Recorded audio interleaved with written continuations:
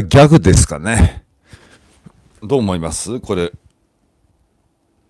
これはからかってんのか、ひどちゃんを。ふみちゃんを。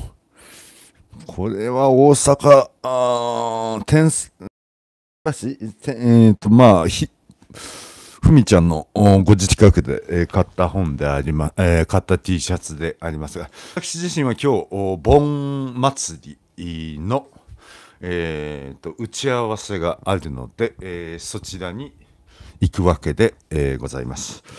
えータイトルで、えつけました、え野中宏む差別と権力。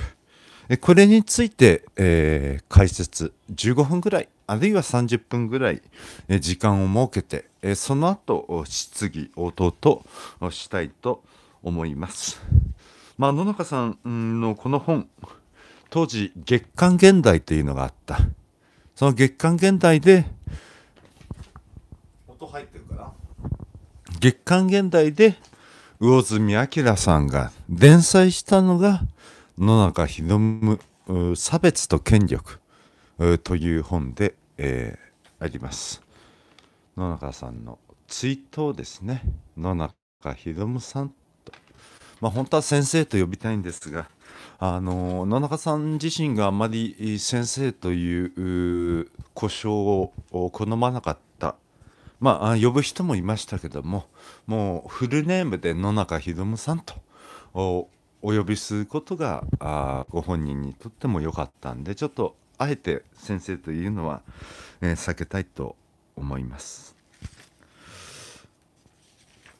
先日野中宏さんのおお墓に伺った時も申し上げましたけども、えーこえー白井さんこんばんは、えー園部町京都府の園部町。今あの平成のお大合併により、えー園部、えー町は、えーなくなって、えーいますが。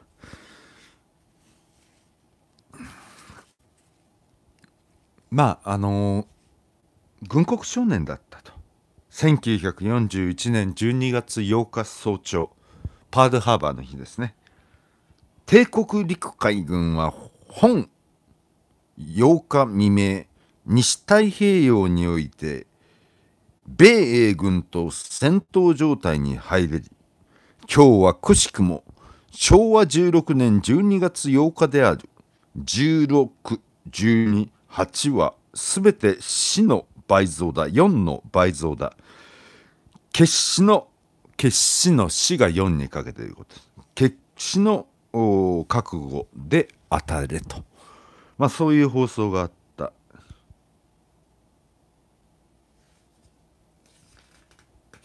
まあ当時、小林さんどうもいらっしゃいます。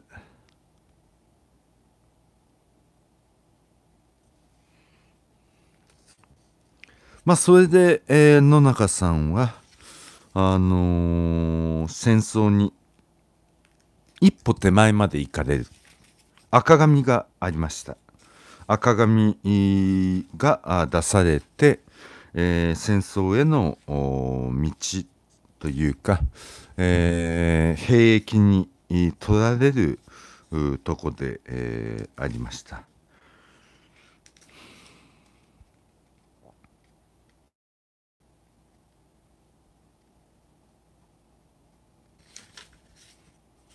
そのエピソードを探したいと思います。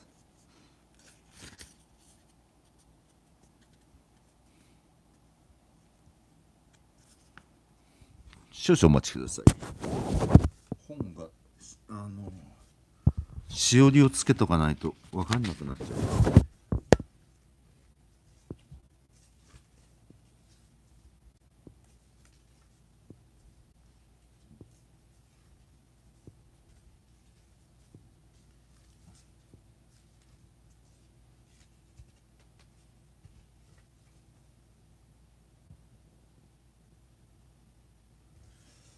えっと、その前に、えー水平社宣言、1922年3月3日。3月3日というと女の子のお節句と言われますけども、こういうことですね。水平社宣言。我々が得たであることを誇りうる時が来たのだ。我々は必ず卑屈なる言葉と強打なる行為によって祖先を恥ずかしめ人間を冒涜してはならぬ。そうして人の世の冷たさがどんなに冷たいか人間をいたわることが何であるかをよく知っている我々は心から人生の熱と光を玩具来産するものである。水平社はかして生まれた。人の世に熱あれ、人間に光あれ。まあ、古典調なんで、人間に光あれ、えー、いいと思います。人の世に熱あれ、人間に光あれ、えー、っていうことです。橋のない川ですね。住江、えー、末さん。えー、水平社宣言を基礎というか書かれたあ方を主人公にした橋のない川。新潮社文庫で、えー、4冊、えー、7冊ぐらいでしたかね。中学生の時、えー、読みましたけども。まあそういうことがあありましたね。うん。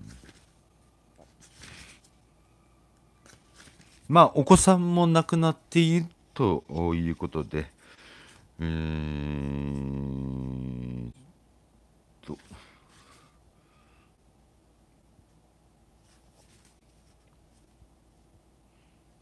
世代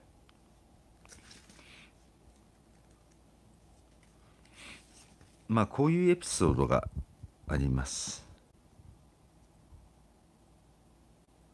高知海軍航空隊の特攻基地の高知です。高知、四国ですね。そこに赤,、ま、赤岡町って読むんですかね。駐屯してたと。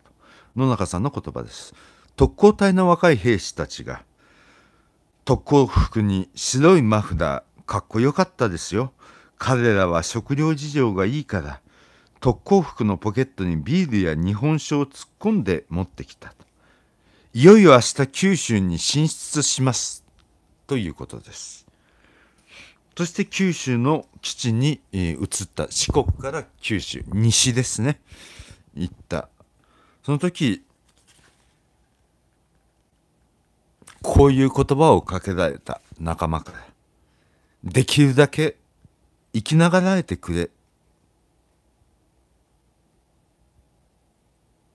これは女性の言葉だったそうで野中さんが回答するにはまだ一度も女を知らんのですということですね。野中さんは翌朝仲間が特攻隊白菊で飛び立つのを見送ったまあ特攻というのはあのー、ガソリンというかエネルギーがまあもう帰りの分が入ってない重くなるっていうんでね、うん、だから永遠のゼロああまりにも馬鹿げた作品だと思ったのがこういう背景があるからです。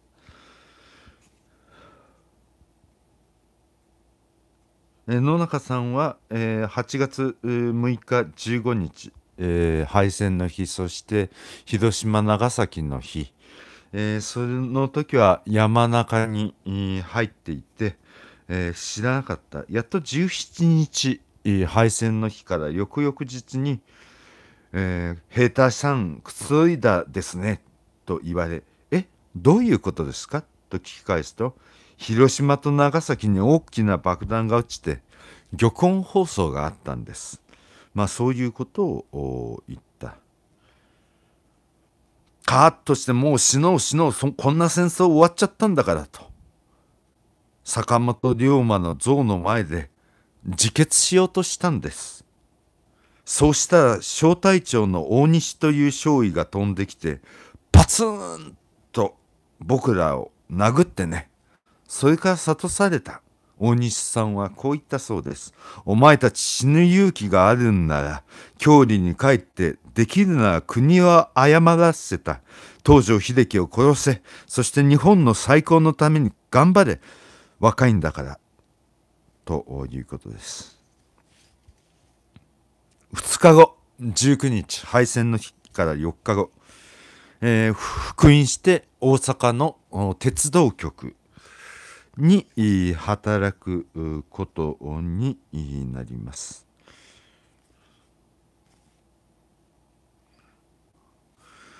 私はね野中さんのこの実を言うと戦士特攻に散らなかったあことについて、えー、どこだったかな？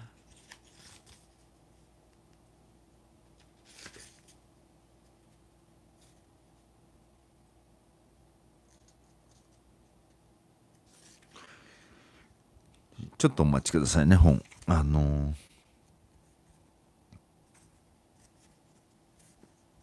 結局ちょっと見つからないので。まあやはり出生生まれた場所という地域その十字架を背負う十字架を背負うという表現があのー、まさに、えーえー適切かと思いますがこういうことをおっしゃってる。ああこれはひょっとしたら革命が起きるかもわからん。戦争後ですね。敗戦して。家へ帰ったらそのまま名前が残って席が入っちゃう。帰らなきゃ行方不明になっちゃう。もう少し世の中の動きを見てみようかと思ってね。友達の家を1週間ほど泊まり歩いた。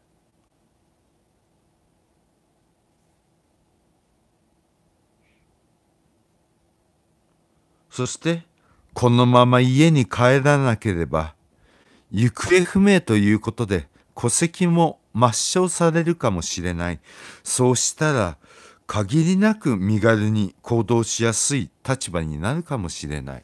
そんなことをぼんやり考えたそうです。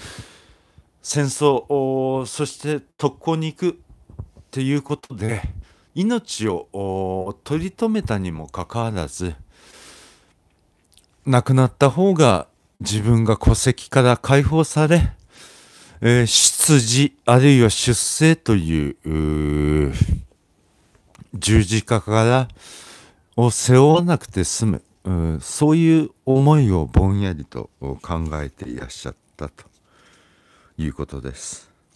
そして大阪の鉄道局ですね京都駅から行かれたそうですけども。敗戦から18年後の1973年3月7日私が生まれる7ヶ月前ですが京都府議会の本会議場は静まり返った。演壇に立った府議会議員の野中さんが大鉄局を辞めたいきさつを切々と語られたこれがご自身の生まれについての初めての言葉です。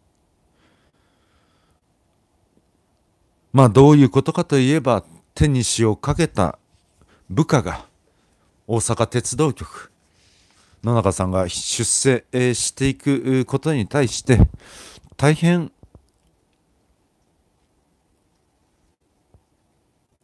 差別心を持ちなんであんな、まあね、童話のことですけども、奴に抜かれなきゃいけないんだって、そういう発言をした。京都府議会でこうおっしゃった。その言葉を聞いて。私は一週間泣きに泣きました。私に目が三つあるわけではない。皮膚の色が違うわけではない。口が二つあるわけではない。耳が4つあるわけではない。何も変わらないのに、そして一生懸命頑張るのに、自分が手塩にかけたそういう人たちになぜそんなことを言われなくてはならないのだという奈落の底に落ちた私の悲しみは一週間続きました。ずっと手に塩をかけた部下の方の発言で傷つき、大阪ですね。泣きに泣いて、のたうち回った。私の悲しみは一週間続きました。奈落の底に落ちた。そしてこうおっしゃった。一週間悲しみ抜いた末に、私が最後に出した結論は、私には、は、私はあまりにもいい子になっていたということでした。大阪へ出て、部落の出生であることを言いふらそうとも、隠そうとも思ってなかったけれども、自分の環境から逃げ出していい子になりすぎておった。やっぱりまっすぐ自分を育んでくれた土地へ帰ろうと。不義になることよりも、町長になることよりも、部落差別をなくすことが私の政治使命であります。ここでこんな悲しいことを言わなくてはならないのも、これが私の最大の政治生命であるからです。ということですね。まあ、10歳年下の部下に裏切られて、えー、いうことですね。あと、お子様が亡くなっているお連れ合いいらっしゃった。若いうちに、そのエピソードどこ出てきたかなすごい分厚い本なんですよ。うん、少々。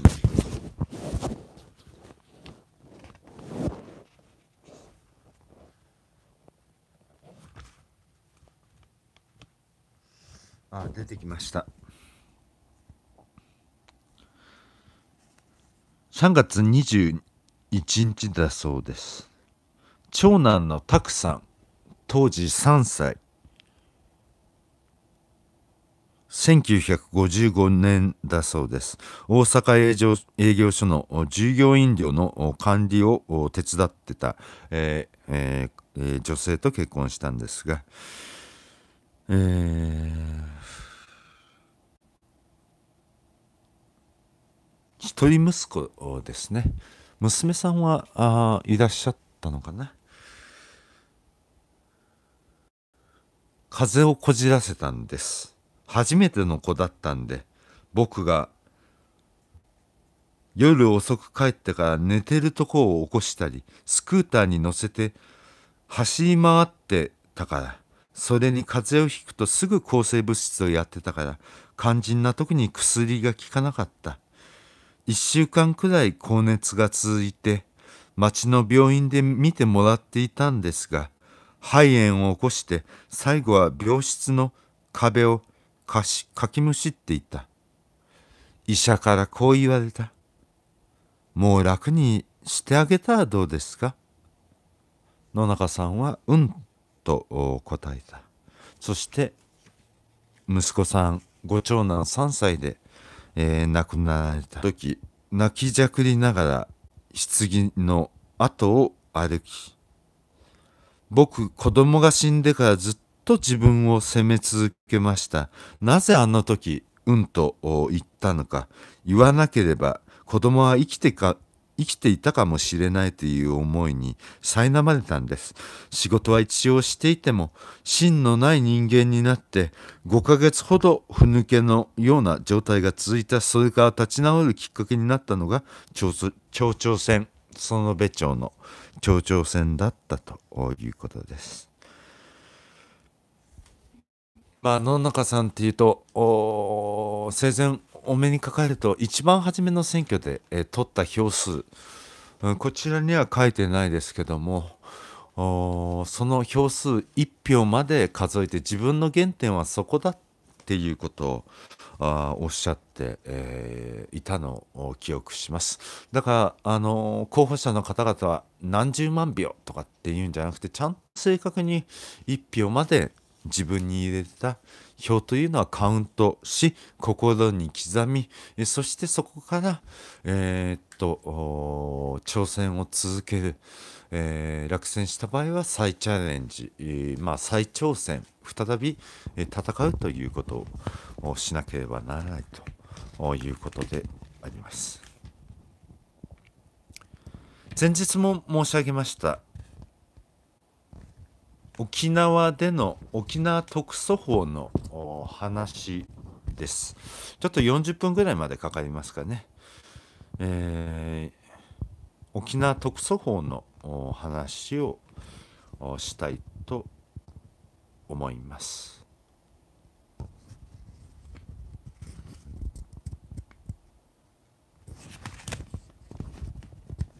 沖縄特措法自民党と新進党によてままさに沖縄を切り捨てるという法律が通ってしまった。1996年3月6日のことです。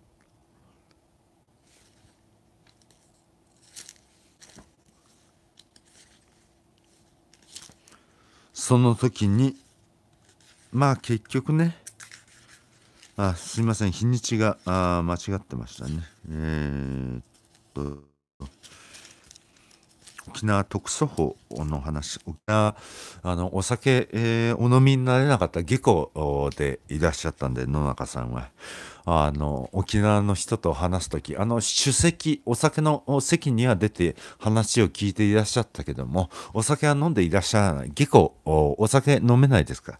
あ野中さん。私も最近下戸にほぼ近くなりましたけども。まああのー、悪魔にひれ伏してっていうことで小沢一郎さんと組んだわけですけどもまさに沖縄の県知事選挙、えー、始まるわけで、えー、ございますけども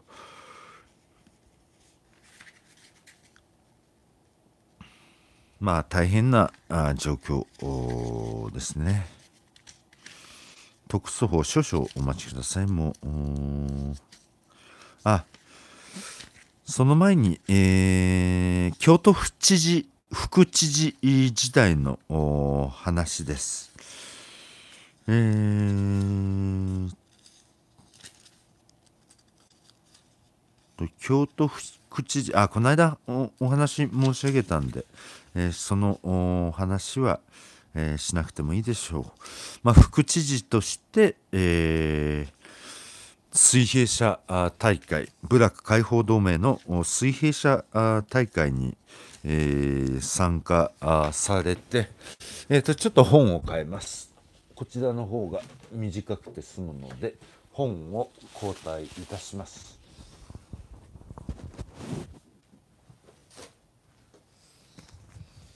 本を交代いたします。お待ちください。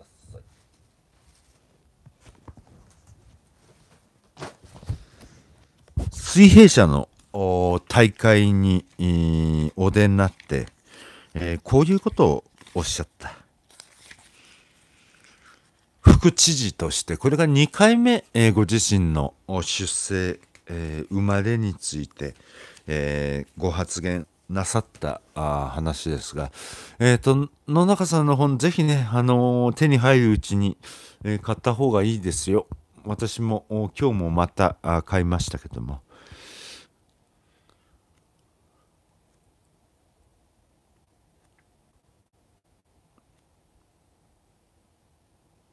まあ、京都府議の時に蜷川不正ですね。あの虎蔵府政に対して京都大学教授として戦争中に学生に鬼畜米英を倒して秦国日本の見立てとなれとかペンを取るより銃を取れそういうことをおっしゃってた。それに対して野中さんこういったあなたの先輩である立命館大学総長の末広末川ていく学生たちに生きて帰ってこいよという声をかけなかったのが教育者として一番の痛恨時だという言葉を残しているしかしあなたは過去についての反省の言葉をこれまで一言も述べてこなかった。あなたの教えを受けて戦場に行って散っていった若者たちの命は二度と帰ってこない。このことについてどう考えているのか。に、蜷川知事は私の日々の活動がその反省であります。まあそう答えざるを得なかった。1982年3月3日、水平社大会創立60周年。えー、ですけども今年はあだから創立ん？100年だったのかな？今年今年失礼しました。あの、イベントの記事読んだ、水平社大会、創立100年ですね、えー、こういうことを書いてます。えー、おっしゃった、京都府副知事だった京都府の。全水、全、全水創立から60年の後、部落解放のための集会を開かれなければならない今日の悲しい現実を行政の一端を預かる一人として、心からお詫びします。私事ですが、私も部落に生まれた一人であります。私は部落民を出し出しにして、利権あさりをしてみたり、あるいはそれによって政党の組織拡大の手段に使う人を憎みます。そういう運動を続けておる限り、部落解放は閉ざされ、差別の再生産が繰り返されていくのであります。60年後に、100年になりましたけども、60年後に、再びここで集会を開くことがないよう、京都府政は部落解放同盟と力を合わせて、部落解放の道を進むことを厳粛にお誓いしますということでした。うん、こういうことをおっしゃった。そして沖縄特措法の時の話、大変沖縄に対する思い出が、えーえー、持っていらっしゃったんで、特措法の時の話に、えー、参りたいということで、えー、ございます。沖縄特措法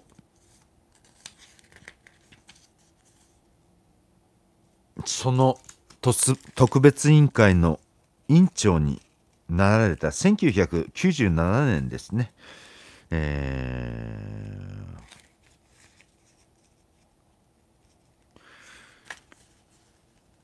ー、こういうこと言った。宜野湾市で採決の時本会議、これは本会議録から削除されていましたけども、委員長報告でこう言った。一言、発言を許してください。と前置きして35年前の出来事を語り出した。野中さんが京都府園部町の町長だった1962年、宜野湾市で戦死した京都出身兵士2500人余りの慰霊塔を建てるため、初めて沖縄を訪問した時のことである。そしてこうおっしゃった。那覇からタクシーで宜野湾湾に入ったところ、運転手が急にブレーキをかけ、あの、田んぼのあぜ道で私の妹は殺された。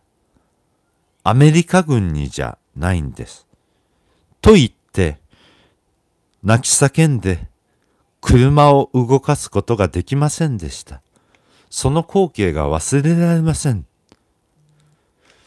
そして、まあ、あの当時二大政党、自民党、新進党なんで、その賛成、まさに体制抑散会的な、えーえー、賛成ですぐに決まってしまった、そのことについてこうおっしゃった。どうぞこの法律が沖縄県民を軍下、えー、軍の靴ですね。軍下で踏みにじるような結果にならないよう、そして今回の審議が再び体制抑散会のような形にならないよう若い皆さんにお願いしたい。これが一言発言を許してくださいということの一言の発言でした。実は言うと特措法の、特別委員長お受けになりたくなかった。だけども受けざるを得なかったあそういう義理がたいところが、えー、あったわけであります。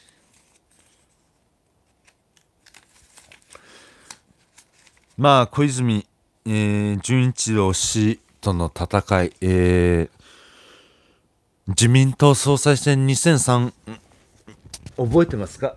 ちょっとの飲み物飲みますね。小泉純一郎人気フィーバーで野中さんはもう辞職するということを宣言されて挑んだけども、形成会、平成権ですね。旧竹下派、旧田中角栄派。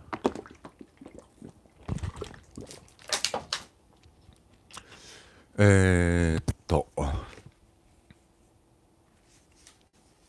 藤井隆夫さん、まだ議員ですか？維新の議員ですか？あ立ち上がれ日本でしたけども、にえー、と自民党に戻ったんでしたっけ？岐阜。私、野中博夢は今期をもって政界を引退することを決意いたしました。私は今日本は国の内外を問わず危険な道をひたすら走っていると思います。小泉総理や日本のマスコミは景気が良くなったとか言っていますが、絶対に良くなっておりません。今も一日100人の日本人が自分の意思で自らの命を絶っている。ホームレスや失業者が街に溢れています。イラクに自衛隊が行った時、犠牲者が出なければ日本人は気づいてくれません。正当防衛としてイラクの人を殺すことになる。日本は戦前の道を今も歩もうとしているのです。19年前ですよ。そういうことを、今まさにそういう状況ですが、19年前におっしゃってた、日本は戦前の道を今も歩もうとしているのです。そこまで言わなければ気がつかないのかなと思うと、一つの時代を生きてきた人間として本当に悲しくなります。まあそういうことをおっしゃって、えー、小泉誠治、えー、その後まあ、安倍晋三氏やあ福田あ福田さんはあの野中さんの推しなんで麻生太郎政治になっていくわけですが、えー、まああのそういうことをおっしゃってた。一つの時代を生きてきた人間として本当に悲しくなります。まあなかなかね憲法改約ですよね。改定にしときましょうか。改定ということですが9条そしてカール・シュミットの統帥権じゃないですけども、えー、緊急事態条項というのがあ準備をされています、えー、そういう状況でね野中さん、うん、19年前にこうおっしゃって日本は戦前の道を今歩もうとしているのです。そこまで言わなければ気がつかないのかなと思うと、一つの時代を生きてきた人間として本当に悲しくなります。ということです。それで魚住明さん、この本を書いた月刊現代で、えー、書いて、えー、ありました。えー、と浜松がどうしました？えっ、ー、とブラジルの方がいらっしゃいますが村松さんどうもこんにちは。まあリニア新幹線はねえっ、ー、とあれは二重行政のいいパターンですね。静岡市政令指定都市。市長はリニア賛成、えー、県知事川勝さんは反対。えー、ということで、えー、ございます。村松さんは静岡というか浜松お住まいなんですが、リニアは川勝知事が、あの静岡市だけではないんでね、えー、神奈川県の問題、いや、神奈川県じゃない、静岡県の問題になりますんで、私も、えっ、と、今年5月、視察に行きましたけども、ああ、川勝さんを辞めさせたいのね、辞めさせるとリニアが通っちゃいますよ。はい、えー、エスパルスですね、えー、清水。だから清水っていうのはさ、あのー、今ないんですよ。清水。平成の大合併。私大反対ですよ、あんなの。清水市なくなってどうなった？清水市なくなって、えー、浜松市に合併された清水の次郎町が浜松の次郎町になっちゃったんですよ。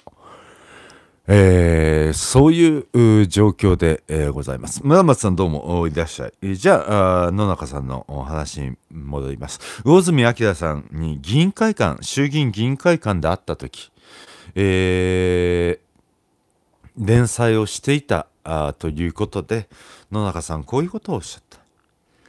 君が部落のことを書いたことで、私の家族がどれほど辛い思いをしているか知っているのかそうなることが分かっていて書いたのか涙をにじませてそう質問した。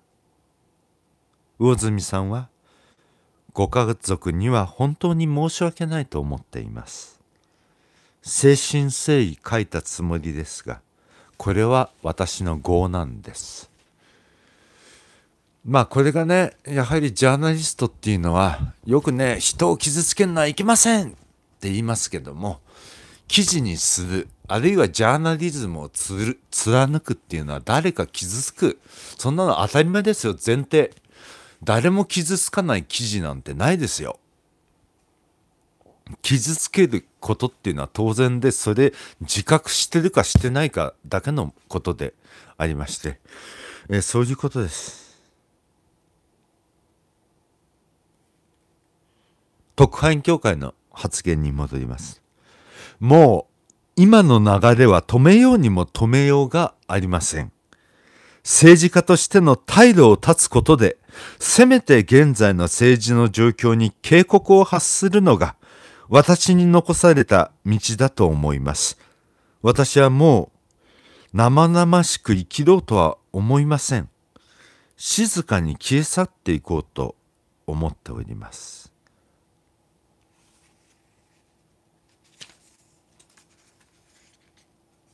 そして引退される前の総務会ですね。2003年9月21日。まさに野中さんが引退する前ですけども、えー、党三役、小泉総裁、山崎拓幹事長、麻生太郎政,、えー、政調会長、約30人、えー、総務会というのは拍手でちゃんちゃんで終わるのが会長当時堀内光雄さん。えーと、今あご令嬢が議員をやってますが会長の堀内光雄さんが人事権は総裁にありますが意義はありますか？普通は、えー、というかみんな意義なし。これで3回終わるんですけども。そこで総務会長で、えー、立ち上がったのが野中さんです。総務会長、この発言は私の最後の発言と肝に銘じて申し上げます。総務大臣に予定されておる麻生政調会長、あなたは大友会の会合で、大友会河野グループ、今は、えっ、ー、と、麻生派ですけども、野中のような部落出身者を日本の総理にはできないわな、とおっしゃった。そのことを私は大友会の3人のメンバーに確認しました。君のような人間が我が党の政策をやり、これから大臣ポストについていく。こんなことで人権啓発なんてできようはずがないんだ。私は絶対に許さん。麻生氏は顔を真っ赤にしてうつむいたままでした。その後ね、えー、国会で、えー、何か弁明じみたことを言ってますが、総務会では、えー、そういうことを何にも言えなくて、顔を真っ赤にしてうつむいていた。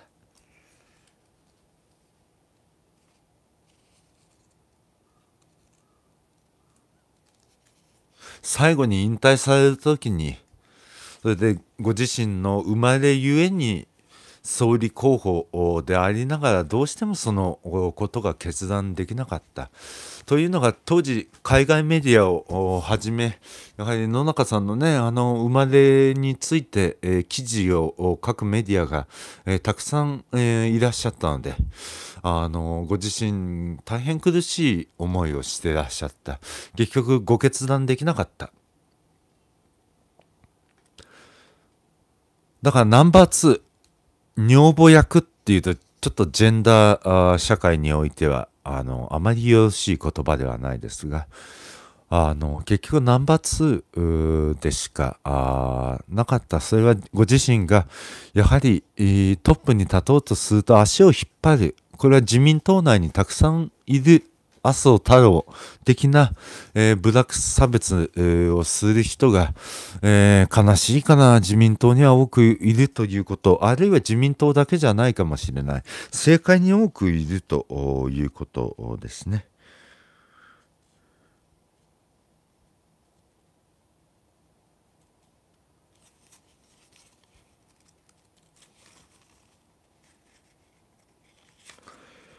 まあこんなあ話で、えーございましたけども。まあやはりね記事を魚住明さんが書いている時に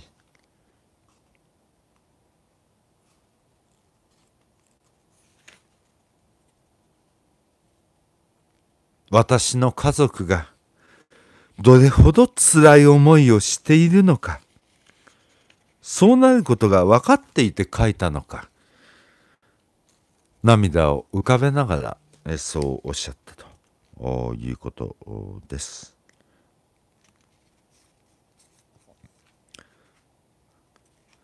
大蔵省旧大蔵省財務省。大変厳しい大蔵省旧財務省に厳しい政治家でいらっしゃった。えそういうことで、えーありました。まあしなやかにそしてしたたかにということですけども、えー今あの緊急事態条項憲法9条の改正の問題。まああの自衛隊を明記するだけではいけない。いや明記する前の議論がある。ポジティブリストネガティブリストどっちにするのかというのが一つ。これはねあの近畿に来るとお部落の地区ってあのあと YouTube でご存知ないですか？あの部落の地区にえー行くって学術研究と称して YouTube であのー上げてたあれ裁判があって、えー敗訴したんですがあの童話地区ねこれは大阪に来るともうめちゃくちゃ厳しい。一つね線路を越えると、えー地帯がそれも朝鮮部落そして、えー童話の地区っていうのがありますけども本当ね一つ線路を隔てるとそこから商店街、えー場所があの部落地区になるっていうので、えー身近なですね。そして立憲民主党の第一声2人目ですね部落解放同盟が切った。えいらしてたあ代表が、えもうそういう悲しい現実東京にいるとねなかなかあのーそれはあの感じられないのかもしれませんけども、関西、特に大阪にいるとそれが現実であるという悲しい現実悲しい状況を思うわけです。最後に野中さんの言葉をいくつか、紹介して、盆踊りのこれから、打ち合わせで、ございますんで、伺っていこうと。みんな皆さんね盆祭り盆フェットボンフェットっていうといい祭りですけどもえっ、とお盆祭りがあるんで、えーぜひご参加あくださいませ。まあ私が励まされるのはあのーこの言葉ですね。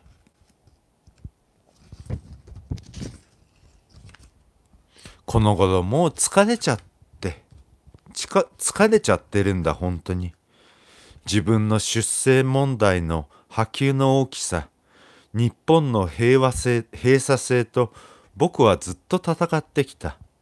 誰も手をつけなかった同和利権に関する税の問題などは自分が政治家でいる間に潰しておかなければ永久にこれは続いていくと思った。四面楚歌の時もあったけれどもいろいろな人の力を借りてやってきた。みんな真面目にやろうよと。一生懸命やろうよということを僕は伝えたかったからね。この頃余計に寂しくなった。年とともにね。俺の83年間の努力は何なんだ何だったんだろう。そういうことをつぶやいてえーらっしゃった。一つも日本っていうのは目を開いていないじゃないかと。そして家族は縛られてこんなかわいそうなことないじゃないか。そうおっしゃったわけです。